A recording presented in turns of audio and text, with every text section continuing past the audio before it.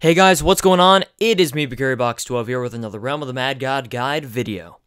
And this time I thought that I would cover a subject that really anybody would benefit from. Or not benefit, but enjoy to hear. Today, I'm going to be talking about how not to die in Realm of the Mad God. And I'm not just going to be all like, hey, you gotta be careful.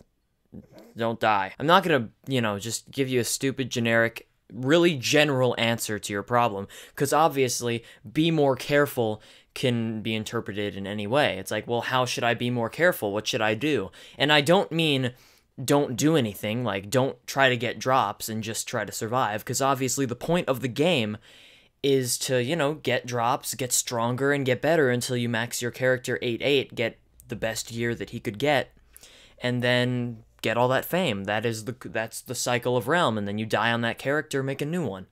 That's how the game should be.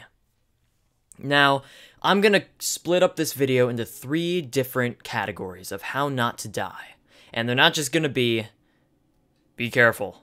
I'm gonna, you know, I'm actually gonna give you some tips and some ideas for what you can do. So, yeah, let's get started. Tip number one be in control. And what I mean by be in control is first, I want you to go to your settings. I want you to enable screen rotation. This is how most Realm players do it. Not everyone does, but I highly recommend learning this. It makes you much more in control of your character while playing. It you know allows you to maneuver your way maneuver yourself in ways that you probably never thought that you could. So I want you to go into your options. I want you to toggle well not toggle, but turn off center of your character so that way you're pointed more towards the bottom. And then I want you to enable screen rotation with Q and E. Q turning you to the left and E turning you to the right. So that way whenever you're in a pinch or you just want to move somewhere, you don't always have to hit D to go right. You can hit E to swerve to the right, and this will allow you to go around obstacles at a more simple and easy feel it will be a lot more comfortable for you. And I know at first it's going to be like, oh, what? Uh, don't get intimidated by these controls.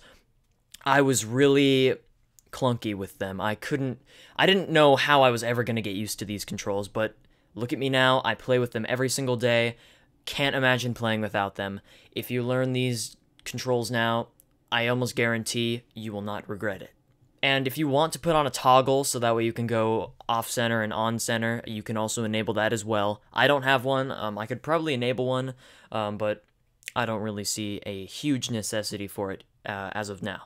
But also with you know, keep yourself in control is pick a character that you're really comfortable with. Someone that you've been playing for a long time and that, you know, you think, you know what, I'm going to max this character. Pick that character. If you're really good with Knight, pick Knight. If you're really good with Trickster, pick Trickster. But if you're going to play the Ninja for the very first time, I don't recommend maxing stats on him before you even go out and try him. If you die and you just drank a bunch of pots on him, you're going to regret that. You're going to be like, oh man, I'm so stupid. Why did I do that? And I don't want anybody to have that regret. I want people to have fun with the game. And you know me, I have played as every single class except, uh, well, I've played as every class, but one class I could never master is the rogue. And, you know, rogues, you see them everywhere all the time. I just, I made one rogue 6-8, never played on it, and the first day that I played with him, I died at a skull shrine, and um, this was before pets, um, and I never made a rogue since, and I don't want that to happen to you guys. Don't be discouraged to make new characters, just get familiar with them and familiar with the control scheme that I just told you before you make one. Also, max a stat that you are most comfortable with, and one that will help you survive. Max the defense stat first, it will reduce damage, and it's fairly easy to max on characters these days. You can get one death from each and every Abyss of Demons that you do. Um, they are hard to run if you are 0-8, but if you have a lot of patience, you could clear the dungeon, defeat the boss, especially if you pick out a knight. You have, you know, you can, you know, with the armor and the shield, you can get a good armor buff and stun the boss. So yeah, max defense first, or Vit if you want to regen the HP, but I would recommend defense. Tip number two.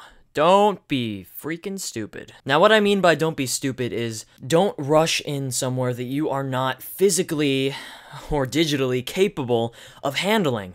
if you are only 3-8, don't run up to Oryx whenever, like, he's shooting out a shotgun. If you can't handle it, back out. It's okay. Speaking of rushing in, don't rush anything. If you have never rushed, or at least never um, successfully rushed, an ocean trench, why try now? Wait until you have enough experience with the game controls to attempt one time, and make sure that you're on a character that is particularly easy to rush on, like a knight or a warrior or trickster, even mystic if you want to get uh if you want to get interesting there. Don't rush anything that you don't need to. Like Oryx's castle, rush with a group. You don't have to rush by yourself. You don't have to be, "Oh, I want to be first. You don't have to do that. All right? You can you can wait it out. You can be like, "Hey, you know what? I'm you know what? I'm a, I'm a cool guy. I'm going to stay back here. Just chill." Yeah, you can do that too. That's perfectly fine. Heck, I don't I don't really rush Oryx one's castle. I mean, you know, if I see a brute is, you know, still in the room, I'm not going to just try to break the gate as fast as possible, uh, even though I see him out of the corner of my eye. I'm freaking wait for that guy to either get distracted or die, you know? Uh, I'm not gonna, why take a chance? I mean, I lost a, uh, I think I lost a 6-8 knight to him before. 999 fame. I'm freaking stupid. Just be careful, guys. Don't just rush in anywhere that you can't or that you might be second guessing yourself. If you're second guessing yourself about running in somewhere, your chances of dying have already been increased by like 50%, 30%, maybe 20, 15? I have no idea. Number 3. Get a pet. Whether or not you think that pets are either a good or a bad thing, Kabam, without a doubt, made this game a whole lot easier whenever they added pets. Sure, they made it hard whenever they took out Amis, but then they put in pets and that basically undid all the damage. But I think these are a lot more overpowered than Amis. I'm just gonna put that out there because Amis cost a lot of money. You know, like it was a you know it was a pretty it was expensive. And, you know, they cost 11,500 fame, or you could buy them with items, which, uh, no. That would have been incredibly hard back in the day, by the way. But then pets, you know, you can just find a pet in the wild, capture it, and then raise it as your own, make it strong, treat it right, and then boom, you have a divine wow. If you do not have a pet, go out in Godlands. You could probably get a pet, you know, at least maximum 30 minutes of farming um, you could probably get a pet. Uh, you know, I mean, it is all random. I could, um, you know what? I'm gonna do a pot farming guide video in the future. How to get more loot. Gold. I don't mean like gold, like buy gold so you can get items. That's no. But if you don't have a pet, go out and get one on your own. And hopefully, whenever you hatch it, it has either heal or magic heal on it. Electric is good too. Um, not the best. It you know if you can get all three on the divine pet, heal, magic heal, and electric, that is very good. I have heal and magic heal right now on my rare maxed pet. Well, he's two levels away from being maxed, but I haven't died in so long. I, just, I don't have any fame. I don't have any fame. What am I, what am I gonna do? But this is probably one of the hardest steps to actually follow, especially if you are a new player, because you don't have any fame to feed your pet. You don't want to spend gold on this game because, you know, you kind of don't know how to play yet. But if you can, um, try to, you know, work towards getting a pet. It was like working towards an Ami. You know, think, think about it like that. Hey, by the way, if you don't know what an Ami is, um, it was an item that gave you plus two of every attribute, 20 HP and MP. Maybe it was four. It was 20. Yeah, and whenever you die, it would it would destroy itself, and you would um get teleported to the Nexus, and you wouldn't be dead. So it was called the Amulet of Resurrection. Fun fact. Still wish that they still had Amis, even now. I think it would just be fun to have them again. Um, but that's probably not going to happen. anyway, hopefully you guys agree with my tips. If not, well, yeah, ah, dang it. I'll see you guys next time. Don't forget to check out the next episode whenever I post it, which will probably be soon.